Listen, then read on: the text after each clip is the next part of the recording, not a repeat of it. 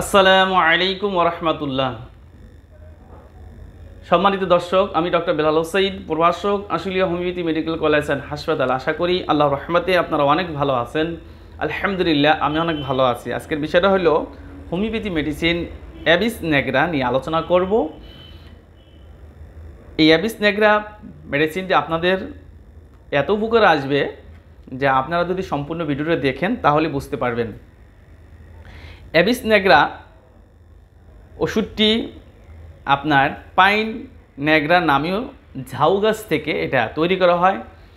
আপনাদের একটা কথা বলি, সেটা হলো যে আমি দেখবেন যে বেশিরভাগ গাছগাছালি নিয়ে আলোচনা করি। এর কারণ হলো যে হোমিওপ্যাথিতে গাছগাছালির বিষয়ে যদি জ্ঞান না থাকে, তাহলে ওই মেডিসিন সংক্রান্ত বিষয়ে তার কোনো জ্ঞানই থাকবে না। হয়তো সে পড়ে যাবে, সব ভুলে যাবে। এইখানেও যারা গাছগাছালির উপর যাদের জ্ঞান বেশি থাকে, তাদের আপনার ম্যাথমেটিকে অর্থাৎ হোমিওপ্যাথি মেডিসিনের উপর জ্ঞান বেশি থাকে তাদের মুখস্থ বেশি থাকে। যার কারণে আমি ওইগুলি নিয়ে আলোচনা করি কারণ আপনারা বুঝতে পারতেছেন যে প্রত্যেকটা মেডিসিনেই কোন গাছ থেকে হয়েছে বা কী থেকে হয়েছে তা আমি বলে দিই আপনাদের সামনে। এহা উত্তর আমেরিকা এবং কানাডায় জন্মগ্রহণ করে থাকে এই সমস্ত গাছগুলি বেশি জন্মে। এহা গদ হইতে মূল অরিস্ট অর্থাৎ মাদার টিনচা তৈরি করা হয়। ক্রিয়া এটা পাকশয় সলিস্মিক আবরণের উপর এই ওষুধটি বিশেষ রূপে আপনার ক্রিয়া করিয়া থাকে, হজমের আপনার ব্যাঘাত এবং অন্যান্য লক্ষণের উপর এই ওষুধটি কাজ করে থাকে। এটার বিশিষ্ট লক্ষণগুলিগুলি হইল সিমটমগুলি হইল যে অন্ননালী অর্থাৎ খাদ্যনালী এলিমেন্টারি ক্যানেলের উপর আপনার খুব কাজ করে থাকে। যেমন নিম্ন প্রদেশ পাকস্থলীর ঠিক উপরে যেন একটি আপনার ডিম যেমন যদি ডিম রাখা হয়, ডিম রাখলে যেভাবে মনে হয় যে কোনো কিছু আটকিয়ে আছে, ঠিক মনে হবে যে, আপনার এই পাকস্থলীর ভিতরে মনে হবে যে, কোনো কিছু একটি বস্তু গোল কোনো বস্তু আটকিয়ে আছে। ল্যাকটিক অ্যাসিডে বোধ হয় যেন পাকস্থলীর উপরের দিকে আপনার শেষ পর্যন্ত ভক্ত দ্রব্যটা আটকে আছে। অর্থাৎ ল্যাকটিক অ্যাসিড এত আপনার ফার্ম করে যে যার কারণে মনে হয় যে তার এই প্যাকটার ভিতরে মনে হয় যে কোনো গোল বস্তু বা ডিমের মতন কোনো বস্তু আটকে আছে। চায়নাও আপনার এই লক্ষণটি থাকতে পারে এবং স্টার নামেও এই লক্ষণটি থাকতে পারে। তবে চায়নাও স্টার নামের নিচে কিছু অ্যাবিজের চেয়েও উপরে, অর্থাৎ অ্যাবিস ন্যাগরার চেয়েও উপরে, অর্থাৎ চায়নারই হলো আপনার এই চেস্টের উপর। আমাদের যে চেস্টটা আছে, এই বুকের উপরে হলো কাজ করে থাকে। অর্থাৎ যারা খাবারের পরে দেখা যায় যে আপনার বুক জ্বালা পোড়া করে, বুকের ভিতরে মনে হয় কোনো কিছু আটকি আছে, তাদের চায়নায় ভালো কাজ করে, অর্থাৎ উপরের দিকে খালি ঠেলতে থাকে, চায়নায় ভালো কাজ করে। আর অ্যাবিস নেগরা হলো নিচের দিকে ঠেলতে থাকে। এই দূরের ডিফারেন্সটা হলো এই, আহারের পরেই পাকাশয়ে আপনার বেদনা থাকে। অর্থাৎ যখন সে পানাহার করল যখন সে কোনো কিছু গ্রহণ করল, খেলো, তখনই তার পেটে ব্যথা থাকবে। পাকস্থলী অনবরত কষ্টদায়ক সংকোচবোধ মনে হয় যেন সব কিছু জড়াইয়া একটা ঢিলা হইয়া যায়। অর্থাৎ মানে সে যা কিছুই খায়, যা কিছু সে আপনার গ্রহণ করে, তখনই মনে হবে যে তার এই পেটের ভিতরে গিয়ে, পাকস্থলিতে গিয়ে সে একটি গোলাকার কোনো কিছু হয়ে সে আটকে আছে। এমন মনে হবে, খুব পেট ভরিয়া খাইলে পাকস্থলিতে ব্যথা হয়। বুকে যেন কিছু আটকে আছে, এই এমন কাশি আপনার উঠিয়া যাইবে, কিন্তু কোনো কিছুই তার বাহির হবে না, অর্থাৎ কোনো কফি তার বাহির হবে না।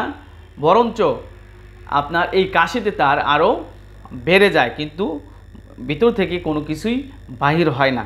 প্রাতে কিছু মাত্রই ক্ষুধা থাকবে না। অর্থাৎ সকালে তার কোনো ক্ষুধা থাকবে না, কিন্তু দ্বিপ্রহর যখনই হয়ে যাবে, তখনই তার ক্ষুধা লাগবে। ভয়ানক ক্ষুধা যে মনে হয় যে এখনই তার প্রাণ বায়ুটা চলে যায় এই অবস্থা থাকবে। কিন্তু খাওয়ার পরেই তার ভিতরে কি হবে? যে ব্যথা বোধ হবে। তার যে, সে যে জন্য খেলো, যে ভালোর জন্য খেলো, কিন্তু তার দেখা গেল যে খাওয়ার পরে তার ভিতরে ব্যথা শুরু হয়ে গেল। অজীর্ণ রোগ বা আপনার ডিসপেসিয়া বিশিষ্ট লক্ষণগুলি বর্তমান যদি থাকে, তাহলে অবশ্যই এই এই লক্ষণগুলি যারা মুরব্বী আছেন, বৃদ্ধগণ আছেন, তাদের জন্য কাজ করবে। যদি তাদের, তারা যদি এইগুলি সেবন করে থাকেন, সেটা হলো অতিরিক্ত চা বা ধূমপানকারীদের জন্য অজীর্ণ রোগে এহা অনেক উপকার করে আসে।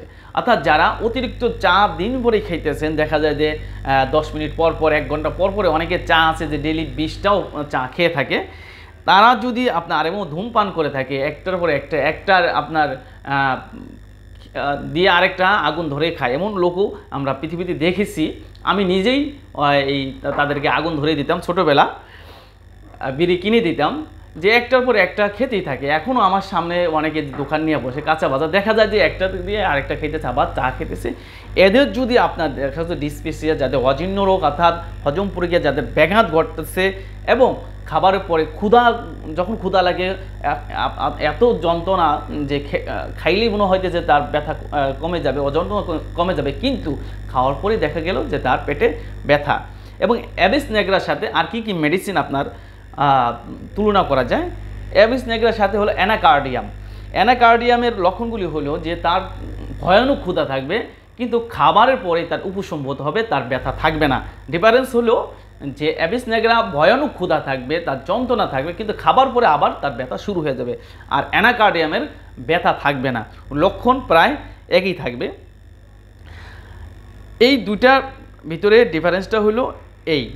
যদি আপনারা এভাবে ডিফারেন্স করে আপনারা গ্রহণ করতে পারেন, ইনশাআল্লাহ আশা করি এই অ্যাবিস নাকরা ধারা আপনাদের যাদের পাকস্থলীর যাদের ল্যাকটিক অ্যাসিড বেশি আপনার ফার্ম করে, তাদের জন্য অনেক উপকার বয়ে আনবে।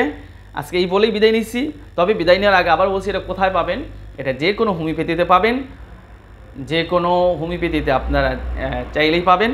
আর কত পাওয়ার ব্যবহার করবেন সেটা হলো যে থ্রি এক্স সিক্স অথবা থার্টি আপনারা ব্যবহার করবেন। এটার ব্যবহার করার নিয়ম হলো যদি আপনার একই ডিজিজ হয়ে থাকে, অর্থাৎ দেখা গেল যে এটা বেশি দিন হয়নি এই রোগটার বয়স, তাহলে আপনারা এক ঘণ্টা বা দুই ঘণ্টা পর পর ব্যবহার করবেন। এটা এবং যার কাছে থেকে কিনবে, তার কাছে কিছু পরামর্শ করে কিনবে। আর যদি দেখা গেল যে কর্নিক হয়ে গেছে, এটা অনেক দিন হয়ে গেছে, অনেক বছর ধরে ভুগতেছেন, অবশ্যই আপনারা থার্টি এবং দুশো ব্যবহার করবেন। তবে ব্যবহার করার নিয়ম হলো যে প্রতিদিন সকালে এটাকে তিন দিন ব্যবহার করবেন। প্রতিদিন সকাল অথবা রাত্রে তিন দিন ব্যবহার করে তারপরে প্লাসাবো নামে আরেকটা মেডিসিন অথবা ফাইটোন নামে আরেকটা মেডিসিন এটা আপনারা প্রতি রাত্রে ব্যবহার করতে থাকবেন খাবারের পরে দশ ফোঁটা অথবা বিশ ফোঁটা করে। এটা রোগের উপর আপনার রোগের উপর এটা আপনার নির্ভর করবে যে রোগটা কত দিনের এভাবে ব্যবহার করতে থাকবেন, বয়সের সাথে মিলিয়ে ব্যবহার করতে থাকবেন, ইনশাআল্লাহ। আশা করি আপনারা উপকৃত হবেন এবং উপকার পাবেন। অমা তৌফিক ইল্লা বিল্লাহ। আসসালামু আলাইকুম ওরহমতুল্লাহ